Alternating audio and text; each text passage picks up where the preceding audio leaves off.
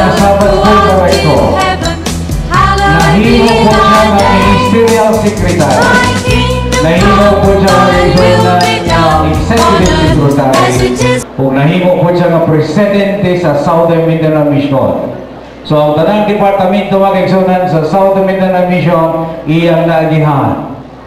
O karon mao siya ang atong Executive Secretary o Vice President sa atong union sa South Philippine Conference. Usa siya ka hining maayo kayo sa mga yun, bisan karon ug mahilig rin gihapon sa pag-awit mga igsunan, pero hangtod karon bisan dugay na siya sa pag-alagad. Gipanganak siya sa, sa pag-alagad, pero hangtod karon katoliko ra gihapon. Ang atong speaker mga kaigsunan, walay lain. Alipay ko sa magpailaila. Walay lain ko di si Pastor Wilson Katoliko. Ihatag na to sa iyang panahon.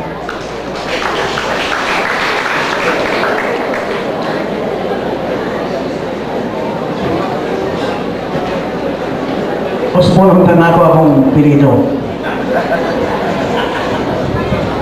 Pero mo ni ang nakapaila-ila sa ako mga isunan sa tibok putan. Kaya nga no, ang Seventh-day Adventist Church is a really Catholic church.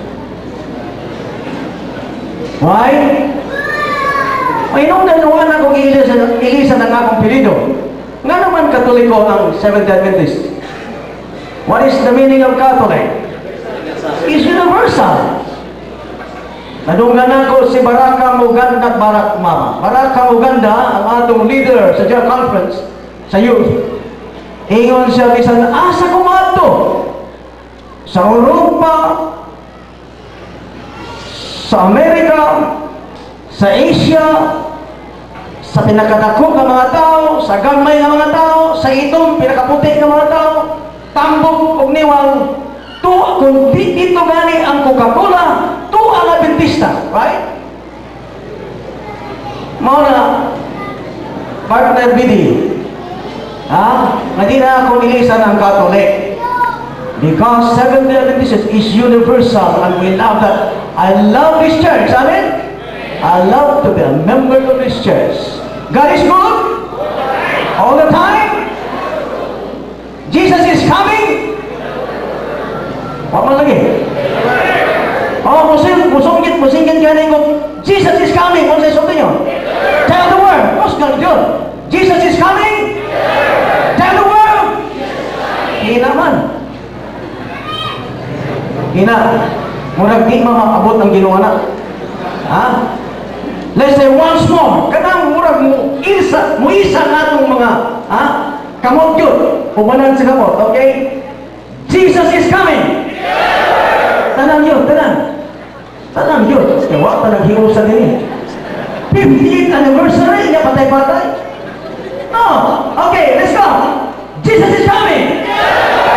Okay. That's better. Pero, dugangan pa yun ako. Tindo. Ha? Tindo. Okay. Jesus is coming.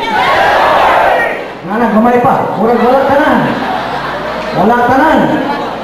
Okay. Again. Jesus is coming.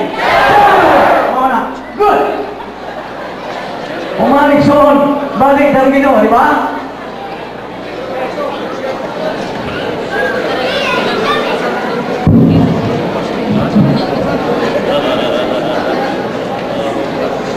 Si Dr. ano, si Henry Ford Sr. Kailan ka mo ka Henry Ford Sr.? Sa diha nga ni celebrar siya sa iyang 50th anniversary sa iyang kamilyon. Golden anniversary. Iyang imbitar ang tanan nga iyang mga suki. Tanan nga iyang nakapalit sa Ford. Eh siya may nagmamak sa Ford. Unya, di pagutan na siya. Kaya nagsilibrar man siya sa Golden Wedding Anniversary. Ingon na yun sa pangutana, Mr. Ford. Unsa man ang imong sikrito, nga ano nakalahog tay ang imong kamilyon sa Amerika, doon lang kaadlaw, lima kaadlaw, isa ka bulan, kadaghanan, divorce. Nga ano, for 50 solid years. Nagulong man mo. Ingon ni Henry Ford, I have only one secret. Ang sikreto nako sa paggama sa akong sakyanan mawala na ang akong sikreto. Unsa man na? I stick to one model. Unsa gini siya na? I stick to one model. Niunong ako sa usalang ka modelo. Meaning kung kami niyon, kung minyo mo, kanagagyod ang imong asawa. Kanagagyod ang imong bana. Naguna-una ako makigsunan ngano, pagining atong Western Mindanao Conference. Kaunghan sa Western Mindanao Conference, why it went through victorious in 50 years. Because I believe, ako nagatuo makigsunan nining upa. Because Western Mindanao leaders and members stick to one model. And what is that model? Our Jesus Christ, our Lord. Let the church say Amen. Stick to one model. Number two, ngano nga ang Western Mindanao Conference. Had went through thick and thin through all these years and victorious in 50 years because leaders and members of this conference believe, defend, live, and preach.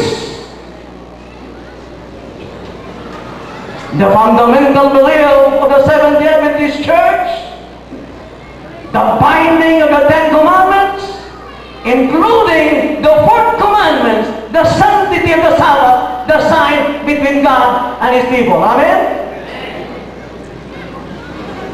Number three, nga ako nakita igsoon, nga no, ang atong Western Mindanao Conference, kaumhan sa Southwestern Mindanao, nagmadino, mag, nagmadinoon because leaders and members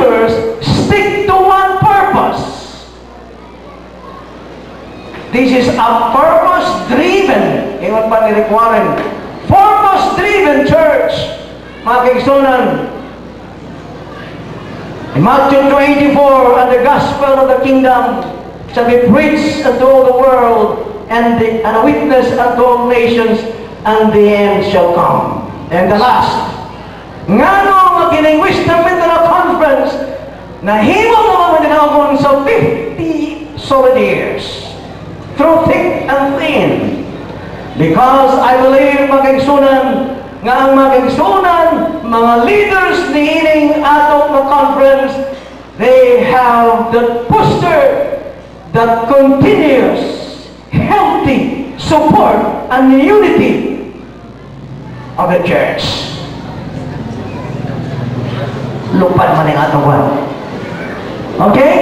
So upang magigsunan ng katarungan nga no nga kita nagasilibrar ni ining gaponon tapos na no, tapos ng commitment. Ha? You have now the four reasons. But I will tell you why stick to one model. Because without Jesus Christ, without the cornerstone, nga nagpatukod, nga naggama, kining atong Wisdom Mindanao Conference, wa talinhi, wala kining kadaugan magisunan. Number two, nga nagpadayon so tungod kay we are.